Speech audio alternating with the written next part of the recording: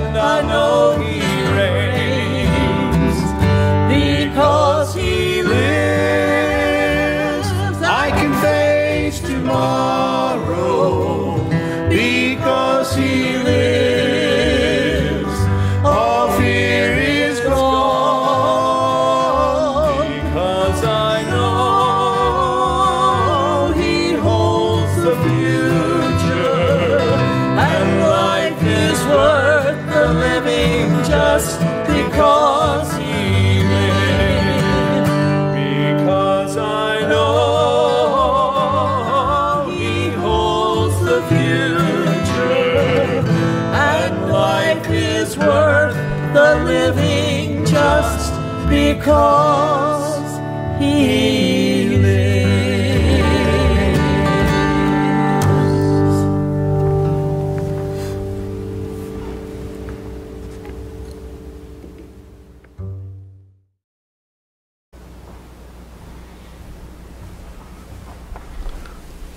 Let us bow together in prayer. Lord God, we give you thanks that you are the giver of every good and perfect gift, that from your hand all blessings flow. And we pray, Lord, that we might receive so that we might be generous in our own giving, that we might be made full, that your love would overflow into the lives of the people around us. Lord, we confess that we are broken, that we are sinners, and that we are saved solely by grace through faith. And we pray, Lord, that you would increase our faith in these troubled days. We pray, Lord, that despite our isolation from one another, that we might continue to consider others before ourselves and that we might put others' needs above our own. Help us to live lives of generosity generous in love, generous in thought, generous in time, generous in gifts. And Lord, we present our tithes and our offerings to you, and we ask, Lord, that you would take whatever we offer for your glory. And we acknowledge, Lord, that whatever we offer is really a sign and symbol of an even deeper discipleship, and that in fact our whole lives belong to you. And so we, we offer ourselves at the altar as a living sacrifice. And we ask that you would use us in new and creative ways, Lord, to, to love one another, to love neighbors in need. And we um, present these tithes and offerings in Jesus' name. Amen.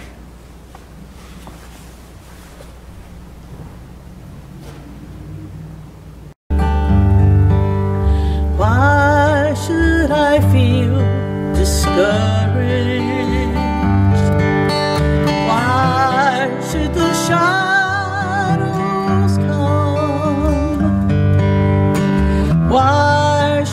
My heart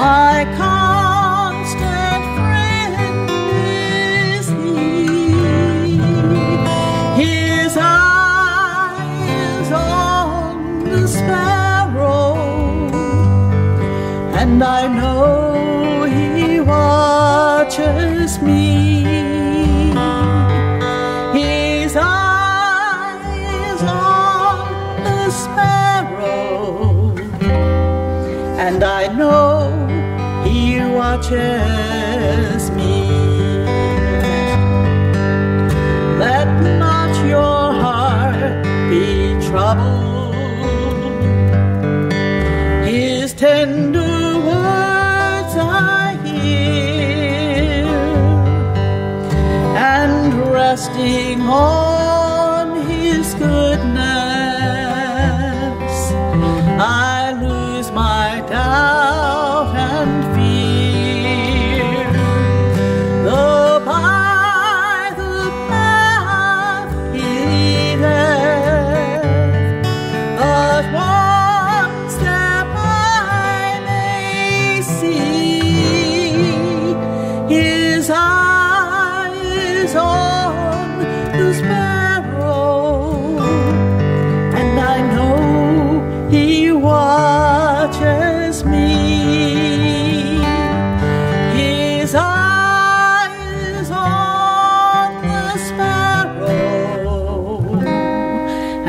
know he watches me.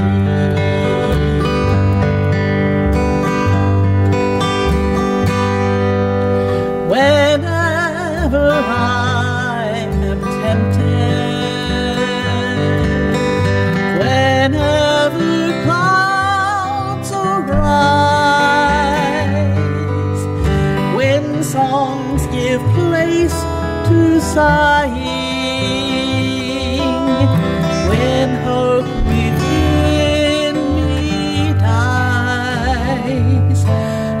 draw closer to him.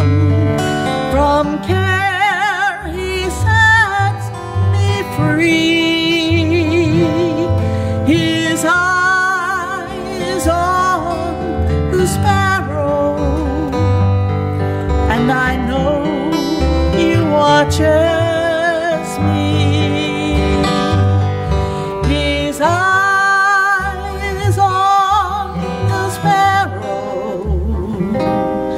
and I know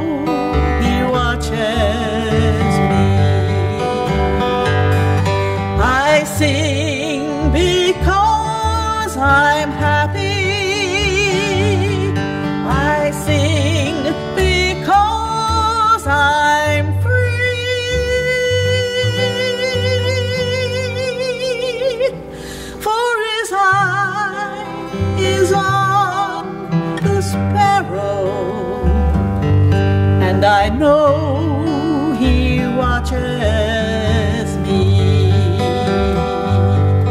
and I know he watches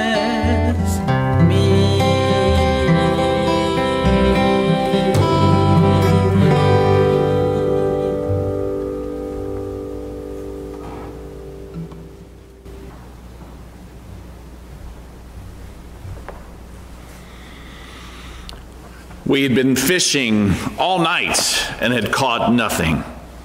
We were weary and discouraged.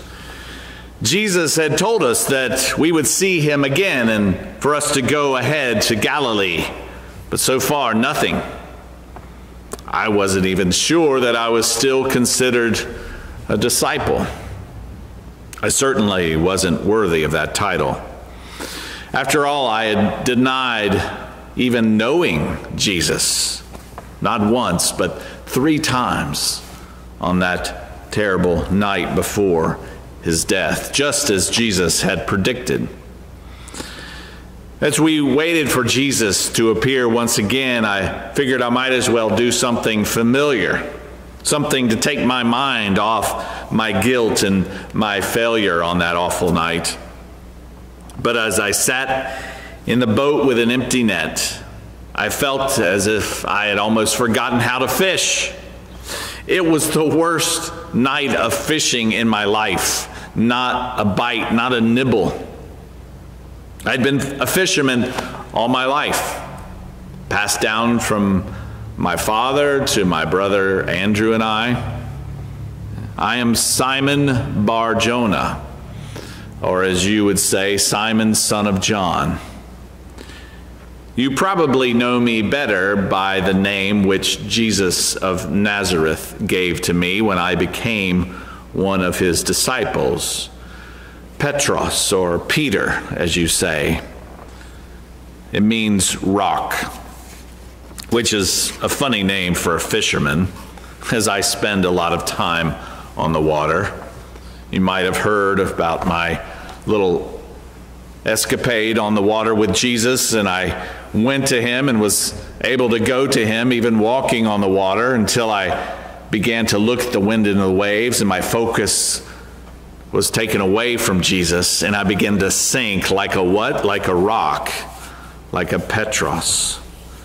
But that is another story for another time. But lately, I hadn't really lived up to my name. I hadn't been a rock, the kind of rock that my friends, my fellow disciples needed. I've always prided myself on my strength, but that all seemed to fade away that terrible night when the people there at Jesus' trial began to ask me if I knew Jesus, if I was one of his disciples. I have to admit that I was terrified. I sensed that my very life was being threatened. I never would have believed that Jesus, the one that we had placed our hopes in, the one that was clearly in our minds the Messiah, the Christ, the anointed one of God, the chosen one, the one that would rule us all and be king. I never imagined that he would be arrested by our own chief priests. It was beyond belief. It was just a strange and really unexplainable time. What were they thinking? Didn't they see this same man do some of the same miracles that we had witnessed over the last three years, especially these last few months? Didn't they understand that it was this Jesus that had healed the sick, that had made the blind to see, the lame to walk, the deaf to hear? Didn't they understand that this man was full of grace and love and truth? That he had even brought the dead to life again. I realize now why Jesus said so often, He who has ears to hear, let him hear. I always thought that is a strange thing to say. Of course, we have ears. What does he mean? But I've come to realize that in fact, we often only hear what we want to hear. That our ears and our hearts and our minds are very much connected. And that if our hearts are hardened or our minds are closed to truth, that our ears might just as well be stuffed with straw. Friends, do you have ears that are open, ears that are ready to hear, hearts that are open, minds that are teachable? Is your hope, is your heart open to what Jesus might teach you? How he might reveal himself to you? Is your heart open to receive the good news that Jesus is alive and that the tomb is empty and that Jesus has risen from the grave and conquered sin and death? And that Jesus wants to give you and me a fresh start, a new beginning, and make us into new men, new women, a new person perhaps through the trials and difficulties of life in this broken world, you, like me, at times have grown cynical and cold.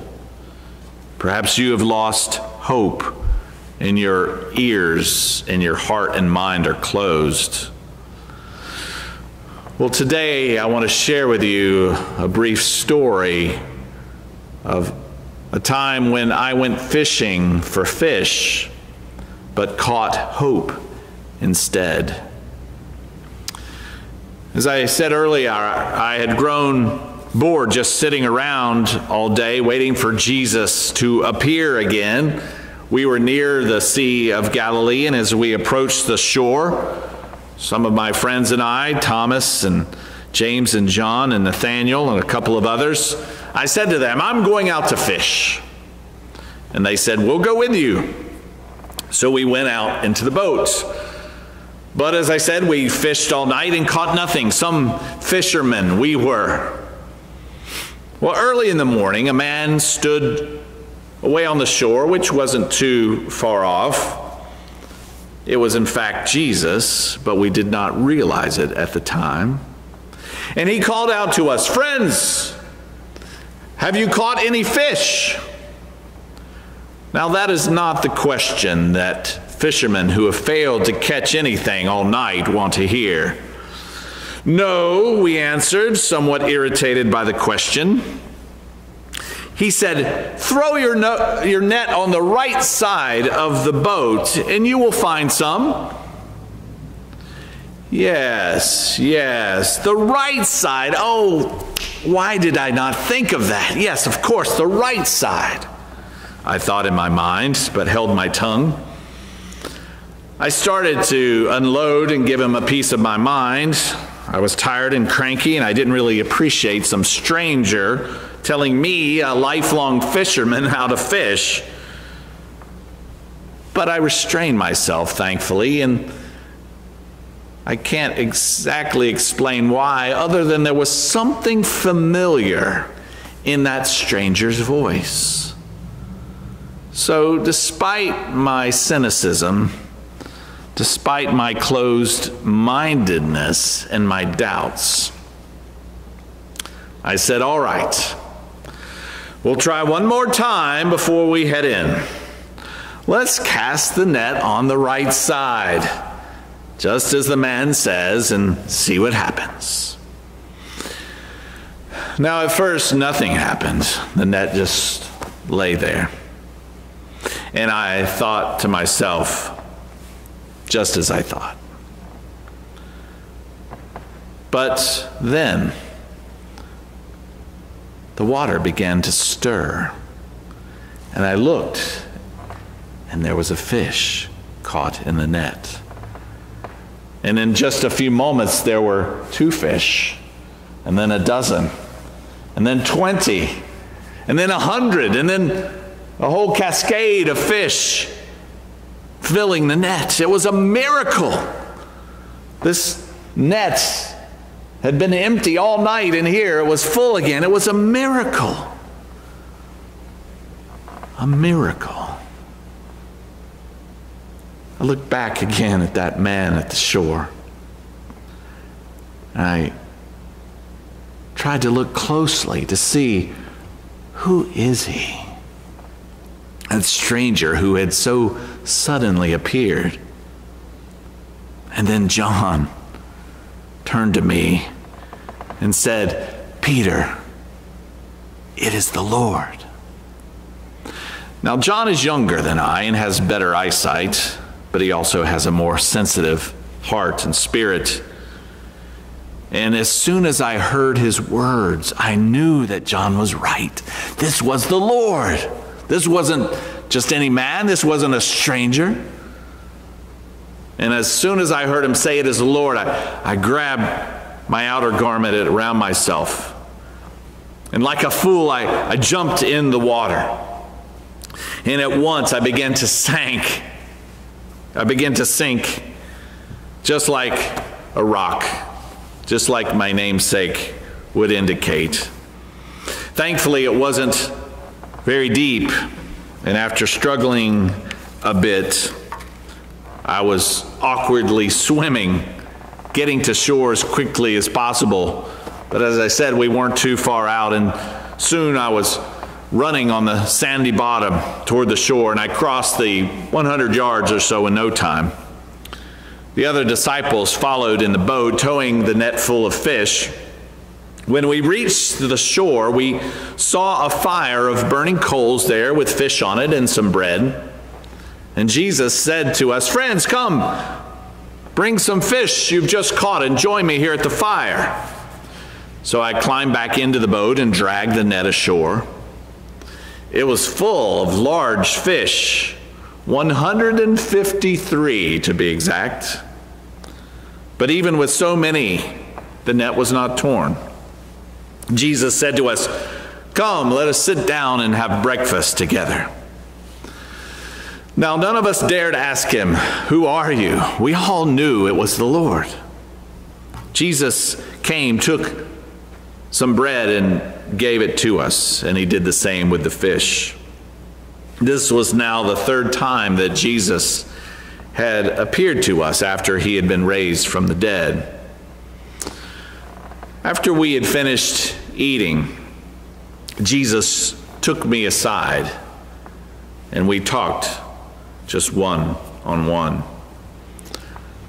I was nervous and a little afraid of what Jesus might say to me. Would he rebuke me?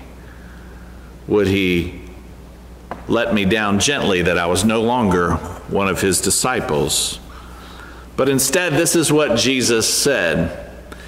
He looked me in the eye and he said, Simon, son of John, do you love me more than these? Well, I noticed immediately that he wasn't calling me Peter, and my heart sunk. Perhaps I really had been fired.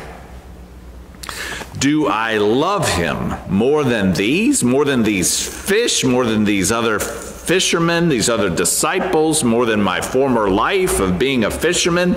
I wasn't sure what he was asking, but I said, Yes, yes, of course, I love you. You know, Lord, that I love you. And Jesus simply said, Feed my lambs. Again, Jesus said to me for a second time, Simon, son of John, do you love me? Again, I answered, Yes, Lord. You know that I love you. Jesus said, Take care of my sheep. Then a third time, Jesus said to me, Simon, son of John, do you love me? I felt hurt. Jesus didn't seem to be believing me. Had I lost all credibility with him? Would I never again be trusted? A million thoughts were racing through my mind. I said pleadingly, Lord, yes, you know all things. You know that I love you. Jesus said, Feed my sheep. Jesus put his hand on my shoulder as he said this, and a, a wave of peace flooded over me. And I began to realize that just as I had denied Jesus three times that terrible night, Jesus had now restored me back to ministry three times. He had told me over and over to feed his sheep, to care for his lambs. Jesus was offering me a new beginning, a fresh start. Jesus was offering Simon, son of John, to once again become Peter, the rock. God's mercies, you see, my friends, are new every morning. One of the great prophets, Jeremiah, wrote, The steadfast love of the Lord never ceases. His mercies never come to an end. They are new every morning. Great is your faithfulness. The Lord is my portion, says my soul. Therefore, I will hope in him.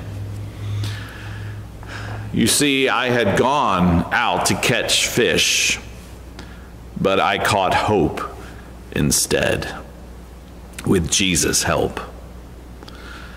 Because of Jesus' mercy, because of Jesus' grace and love, I had hope restored.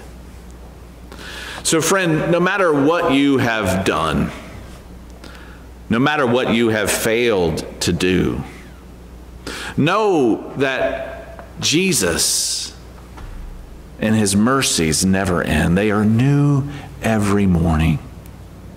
So, no matter how heinous you think your sin, no matter how many times you feel you've denied Jesus in your heart or betrayed him, know that those mercies are new every morning.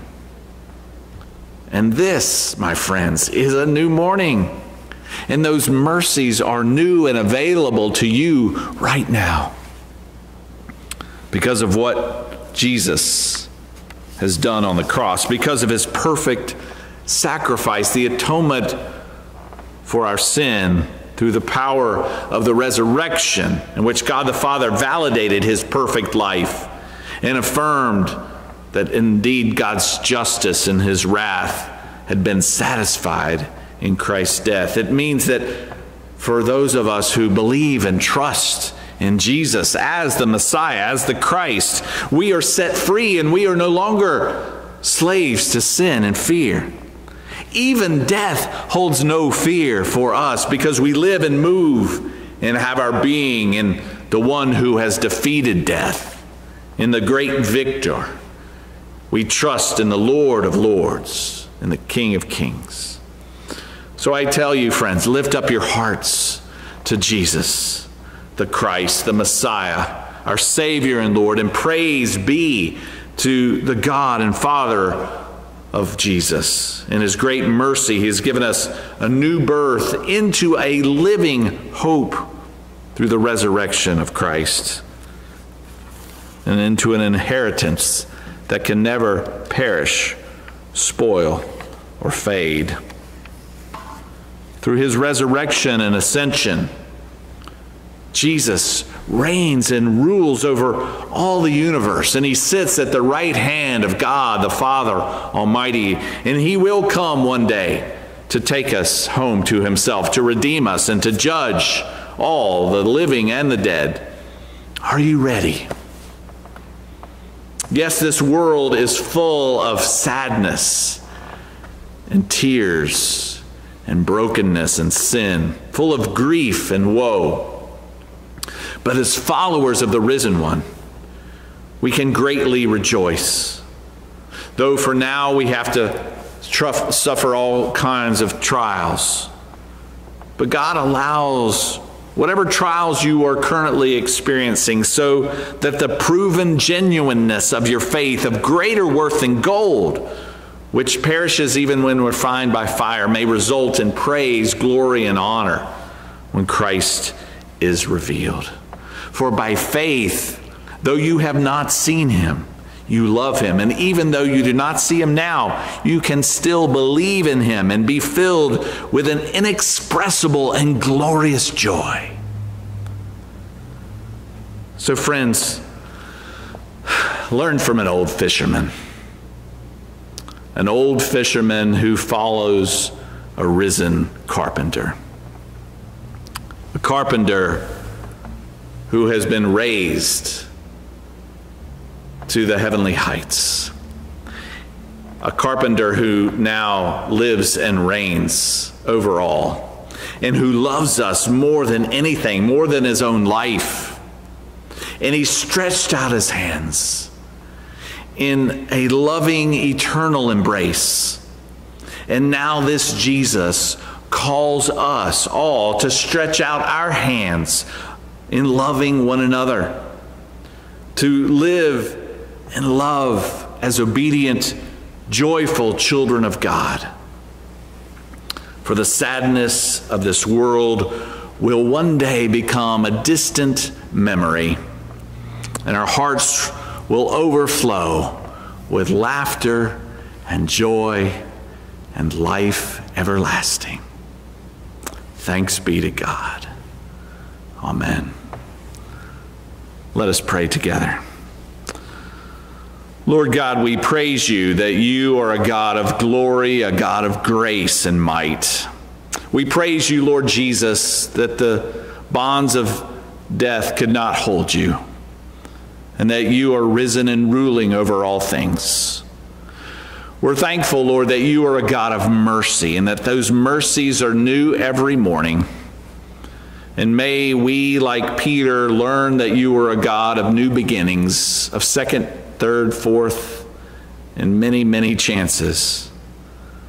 Help us, Lord, to begin again and to start afresh every morning. And will invite you in to fill our empty hearts, our cold hearts, Lord, with the warmth and the love of your Holy Spirit. We give thanks, Lord, that you are always among us and in us. And we pray that we could receive with thanksgiving the new abundant life that you so eagerly desire to give all of your children. In your holy and precious name, we make our prayer. Amen. Friends, as we come toward the conclusion of our worship, I invite you to confess your faith using this classic creed of the Christian church, one of the oldest creeds of all, the Apostles' Creed as a way of affirming our faith, of reminding ourselves of the foundations of the truth of the gospel of Jesus Christ. Let us say this together. I believe in God, the Father Almighty, maker of heaven and earth and in Jesus Christ, his only Son, our Lord, who was conceived by the Holy Spirit, born of the Virgin Mary, suffered under Pontius Pilate, was crucified, dead, and buried. He descended into hell. The third day he rose again from the dead. He ascended into heaven and sitteth on the right hand of God the Father Almighty. From thence he shall come to judge the quick and the dead. I believe in the Holy Spirit, the holy Catholic Church, the communion of saints, the forgiveness of sins, the resurrection of the body, and the life everlasting. Amen. So, friends, go in the grace and peace and mercy of the Lord Jesus Christ, in the name of the Father, the Son, and the Holy Spirit, today and every day. And we invite you as we conclude this worship to join in singing that great classic hymn of praise, How Great Thou Art.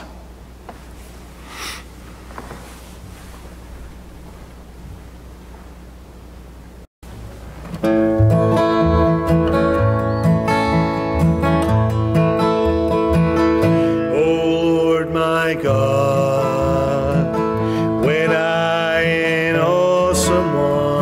We